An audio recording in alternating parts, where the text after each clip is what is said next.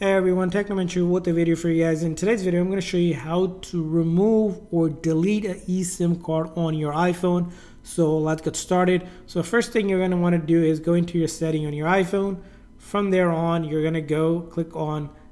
Now, once you click on cellular, you should see your lines here listed. If you have multiple ones, it'll be listed here. So you're going to select the eSIM that you want to delete. So I'll click on this one. Now this is my secondary eSIM that I no longer use. So if I wanted to delete this eSIM card, I simply click on that. And then as you can see here, this eSIM will be deleted from your iPhone.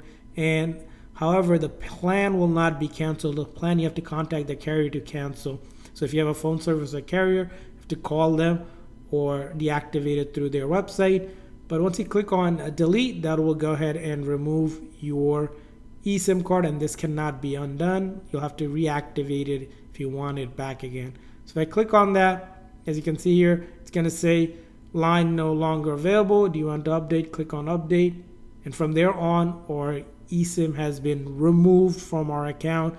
And if you have multiple ones, you can click on uh, to here. Now you'll see here, if you see a delete, it might also be listed here. If you have only one eSIM available, you can click on over here and then delete it from here as well. So that's how you remove or delete a eSIM on your iPhone. I hope this video was helpful. If so, please consider a like and subscribe button for more tips and tricks for your iPhone, other iOS devices. We'll see you guys next time.